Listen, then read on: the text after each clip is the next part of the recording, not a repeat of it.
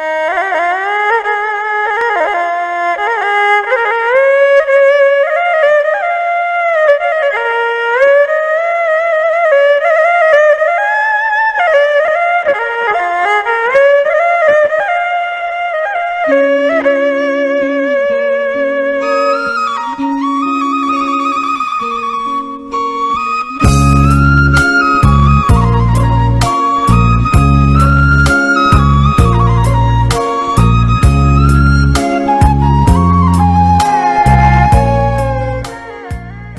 បាទបងប្អូនរួមឈាមជាទីនឹករលឹកនិងគោរពរាប់អាន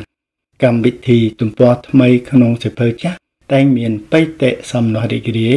ដែលមានឱកាសបានវិលមកជួបបងប្អូនជាថ្មីម្ដងទៀតបាទកម្មវិធីទំព័រថ្មីក្នុងសិភើចាស់មានន័យថា ជាកម្មវិធីនិយាយពីនេះខ្លះពីនោះខ្លះហើយទៅតាមឱកាសនិងលទ្ធភាពដែលអំណោយផល កម្មវិធីនេះបានរចនាឡើង ដោយមានគោលបំណង នាំមកនៅវិធីសាស្ត្រមួយ ក្នុងការផ្ដល់យោបល់ផ្សេងផ្សេងដែលមានលក្ខណៈជាកណ្ដាល the middle path ប្រកបដោយទស្សនៈនៃការក្រើនរំលឹកបំភ្លឺនិងលើកទឹកចិត្តក្នុងគោលបំណងរៀនអភិវឌ្ឍគំនិត គឺនាំគ្នាបណ្ដុះពូជនៃការរៀនគិតពិចារណា ពីអ្វីមួយដែលនាំទៅរកការរីកចម្រើន ជាមួយនឹងទម្លាប់វិជ្ជមានម្ដងបន្តិចម្ដងបន្តិច ក្នុងការរៀនកែលម្អ ទម្លាប់នៃការគិតពិចារណា ការនិយាយនិងការធ្វើរបស់យើង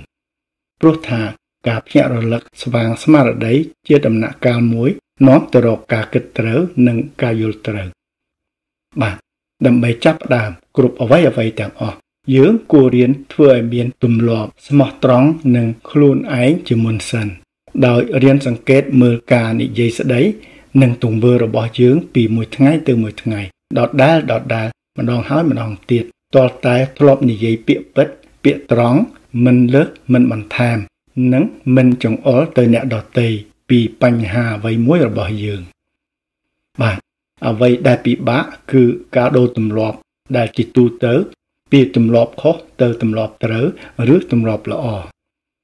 ទម្លាប់ឬការធ្វើឲ្យធ្លាប់គឺជាសកម្មភាព ឬការធ្វើអ្វីមួយដដែលដដែលម្ដងហើយម្ដងទៀត នៅពេលដែលយើងចាប់ផ្ដើមកែទម្លាប់មិនចម្រើនអ្វីមួយឲ្យបានទៅជាទម្លាប់ល្អវិញនោះដំបូងមានការពិបាកច្រើន ដោយទាមទារឲ្យមានការព្យាយាមវិន័យនិងការបដិញ្ញាចិត្តដើម្បីបានសម្រេចគោលដៅនេះ នៅដំណាក់កាលដំបូងមានការពិបាកច្រើនដោយសារតែនៅពេលណា យើងចាប់ធ្វើអ្វីមួយ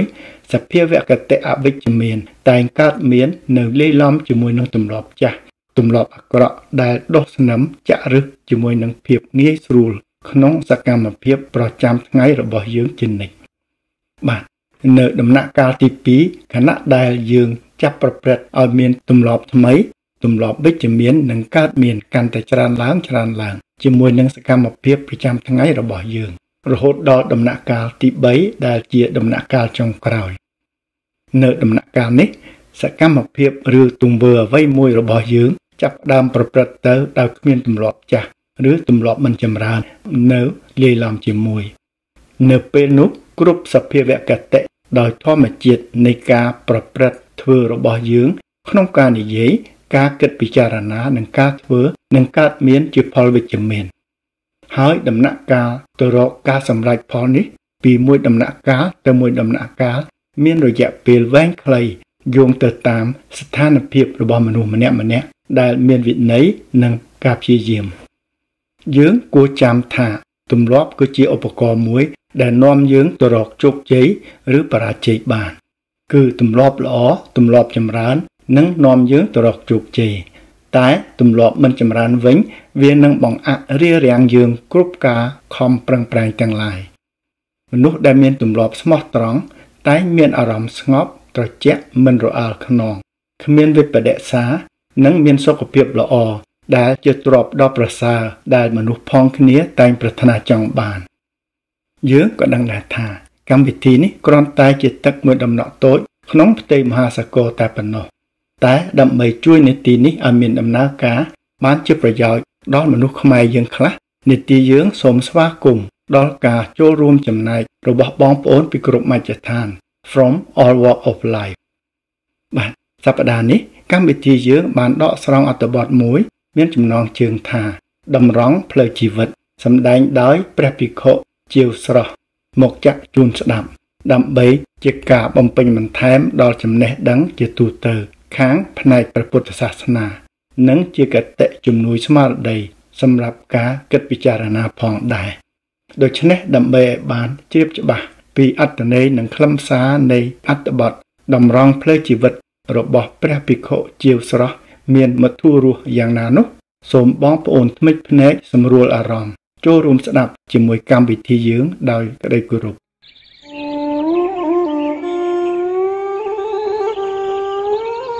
ឆាកល្ខោនជីវិត នៅក្នុងរឿងល្ខោន មានតួអង្គសម្ដែងជាច្រើនដូចជាទូស្លូតទូសុភីព្រាបសាទូកាយទូឆ្នះ ទូសបាយរីករាយនិងទូកំសត់ជាដើមយ៉ាងណាមិញនៅក្នុងរឿងជីវិតក៏ដូចគ្នា គឺមិនខុសពីរឿងល្ខោនឡើយគ្រាន់តែរឿងជីវិតនេះ តម្រូវឲ្យយើងតែម្នាក់ប៉ុណ្ណោះជាអ្នកដើរតួហើយក្នុងការដើរតួគឺយើងត្រូវសម្ដែងជាតួអង្គគ្រប់ប្រភេទទាំងអស់ទាំងទូស្លូតទូកាចទូឆ្នះទូសុភាព និងទូកំសត់ជាដើមព្រោះជីវិតរបស់សត្វទាំងឡាយមិនដែលមានជីវិតសត្វណា ដែលថាមានសេចក្តីសុខគឺសុខរហូតទុក្ខគឺទុក្ខរហូតនោះទេ តែងតែមានសុខខ្លះទុក្ខខ្លះជាធម្មតា ពេលខ្លះជីវិត ហាក់បីដូចជាសបាយរីករាយហឺហានណាស់តែពេលខ្លះជីវិតក៏កើតទុក្ខក្រៀមក្រំ កំសត់ទូរគុតកំព្រីកំព្រារងារងារោគបរិយាយមិនត្រូវពេលដែលជីវិត សម្បូរទៅដោយមេត្តាករុណា ជីវិតក៏សុភាពរៀបសារតែពេលដែលជីវិតពោពេញទៅដោយទោសៈកោធៈជាបាតៈជីវិតក៏កាចសាហាវទៅតាមនឹងដែរនេះហើយគឺឆាកលខោនជីវិត វាដូចជាឆាកលខោនអញ្ចឹងដែរសត្វលោក សំដែងរឿងលខោនក្នុងឆាកជីវិតពោលគឺទូអង្គខណ្ឌបញ្ចកៈប្រព្រឹត្តទៅក្នុងវត្តដាក់ទោះជាសំដែងធ្វើជាមនុស្សយ៉ាងណា ឬទេវតាយ៉ាងម៉េចក៏ដោយ គឺវាគ្រាន់តែជាសាច់រឿងប៉ុណ្ណោះព្រោះមានអវិជ្ជាជាថៅកែលខោន និងជាអ្នកដឹកនាំរឿង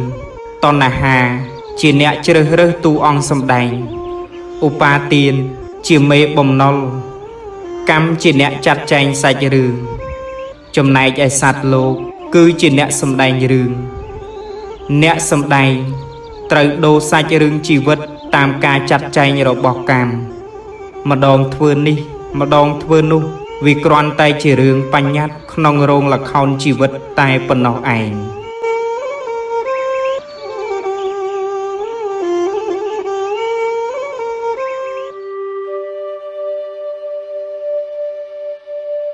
ជីវិតគឺជាការតស៊ូក្នុងរឿងជីវិតនេះ បើយើងស្ដាប់ទៅ ហាក់បីដូចជាធម្មតា តែតាមការពិតជីវិតនេះ គឺបង្កប់ទៅដោយអត្ថន័យដល់ជ្រាលជ្រៅបំផុត ពីព្រោះការសប្បាយរីករាយការកំសត់ទូរគតលំបាកវេទនាក៏មាននៅក្នុងជីវិតនេះដែរជីវិត ដែលមានសេចក្តីសុខសប្បាយរីករាយយើងមិនចាំបាច់និយាយទេ តែចំណែកជីវិតដែលសម្បូរទៅដោយសេចក្តីទុក្ខលំបាកគឺយើងត្រូវតែនិយាយព្រោះជីវិតដែលមានសេចក្តីទុក្ខគឺតម្រូវឲ្យយើង មានសេចក្តីក្លាហានក្រោកឈរតស៊ូប្រឆាំងនឹងវាបើសិនជាយើងមិនតស៊ូនឹងវាទេ យើងប្រកាសជាចាញ់ជីវិតនេះមិនខាន តែបើយើងមានសេចក្តីក្លាហានតស៊ូ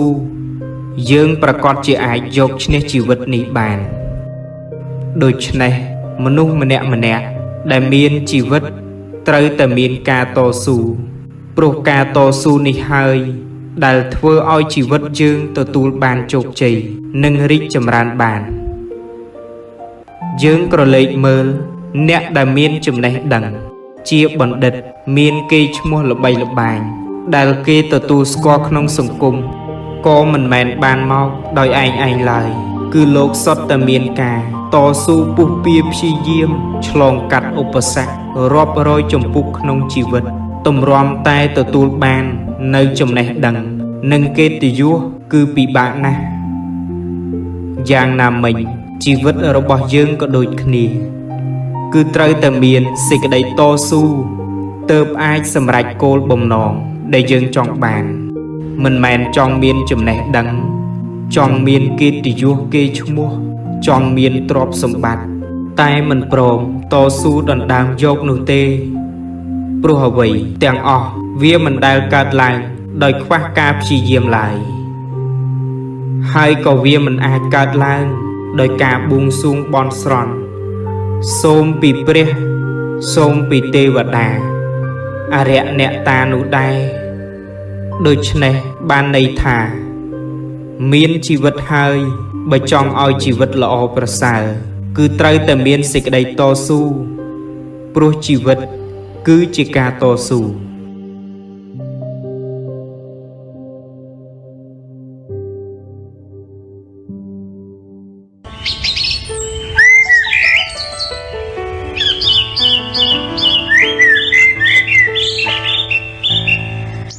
ខ្លឹមសារជីវិត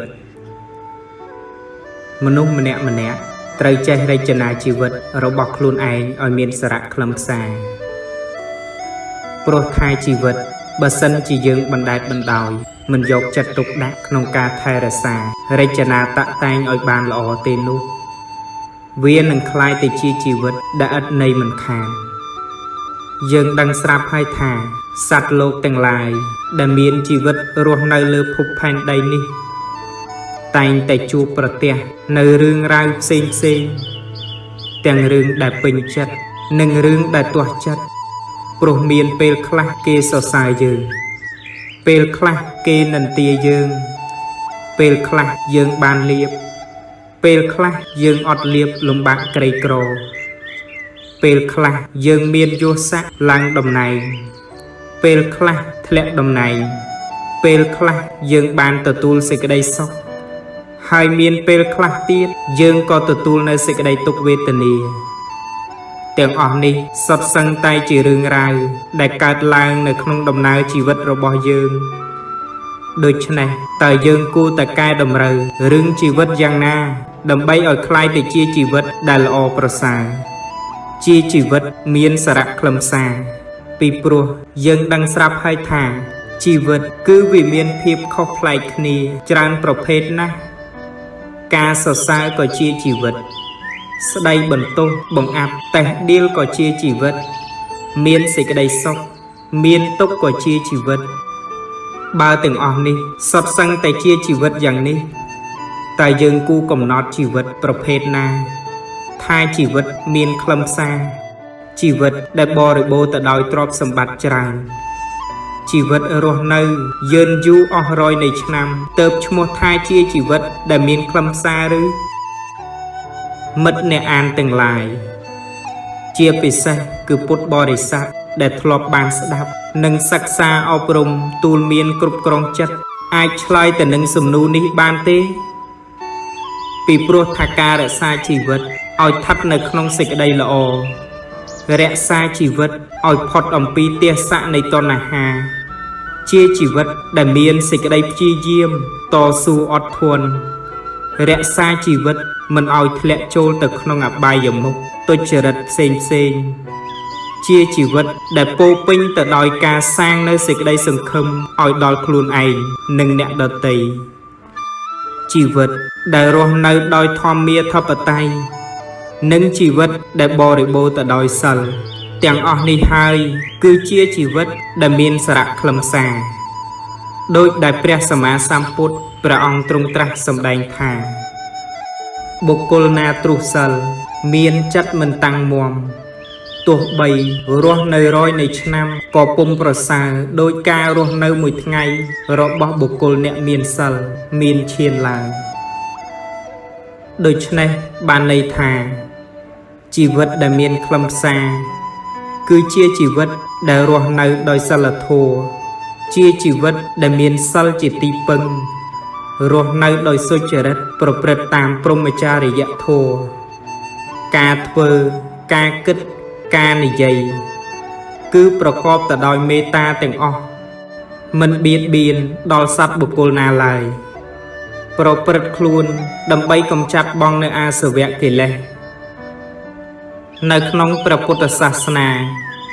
ព្រះសម្មាសម្ពុទ្ធព្រះអង្គទ្រង់ត្រាស់សម្ដែង អំពីបុគ្គលអ្នកបដិបត្តិតាមលំដាប់ថ្នាក់គឺអ្នកបដិបត្តិបានត្រឹមតែមេឃនិងស្លឹកនៃព្រហ្មចារិយធម៌អ្នកបដិបត្តិបានត្រឹមតែក្រមនៃព្រហ្មចរិយធម៌អ្នកបដិបត្តិបានត្រឹមតែសម្បកនៃព្រហ្មចរិយធម៌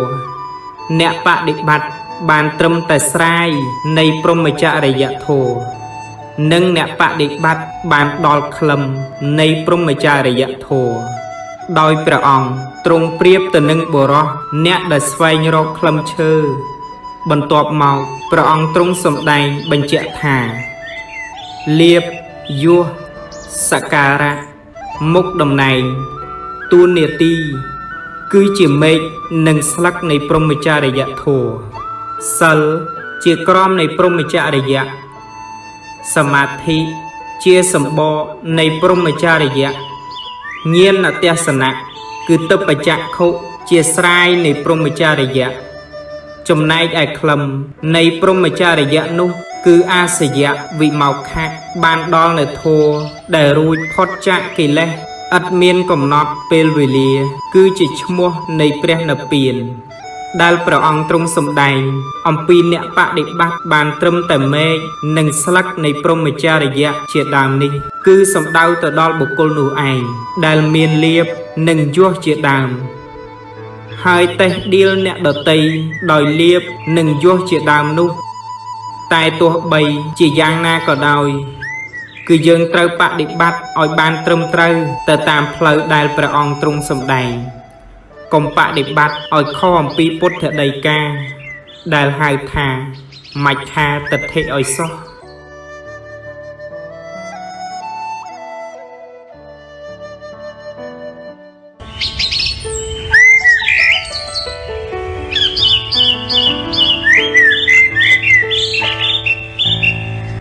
រសជាតិជីវិត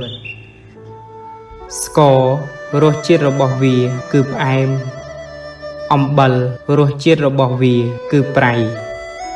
បណ្ដូលពេជ្ររសជាតិរបស់វាគឺល្វីងលាក់ជាដើមរបស់ទាំងអស់នេះរសជាតិរបស់វា គឺមានតែមួយប៉ុណ្ណោះដោយឡែករសជាតិជីវិតរបស់មនុស្សវិញ គឺមានរាប់រយជំពូកទាំងរសជាតិល្អទាំងរសជាតិអាក្រក់ទាំងរសជាតិផ្អែម ប្រៃល្វីងជូរចត់ក្រខ្សត់អត់ឃ្លាន មានគ្រប់ទាំងអស់នៅក្នុងជីវិតរបស់មនុស្សប្រុសស្រីព្រោះថាដំណើរជីវិតដែលត្រាច់រង្គត់ក្នុងសង្សារវដ្តដែលស្លាប់កើតកើតស្លាប់